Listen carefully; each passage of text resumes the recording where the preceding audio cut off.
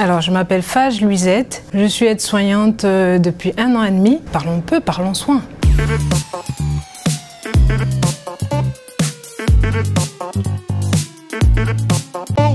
Moi, ce métier, c'était fidèle à l'image que je me faisais parce que je voulais avoir un bon relationnel, être auprès des personnes. Et c'était encore beaucoup mieux parce que je pouvais me positionner en tant que soignant. Je pouvais faire ce que je voulais, ce que j'aimais. C'était vraiment ce que je pensais.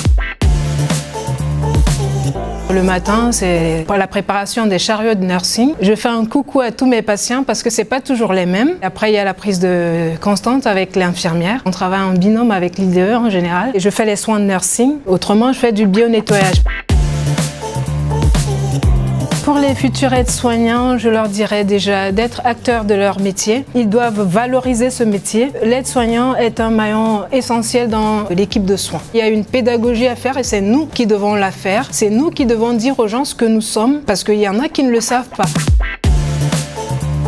Je ne pourrais dire qu'il y a des choses que je préfère faire ou pas parce que le métier d'aide-soignante englobe tout cela. Ça englobe le bio-nettoyage, ça englobe l'aide au repas, ça englobe euh, tout ce qui est à faire auprès d'une personne. Donc, comment faire ce métier si on aime faire ceci et qu'on n'aime pas faire l'autre? Je suis contente de faire tout ce que j'ai à faire et je n'ai aucune frustration là-dessus.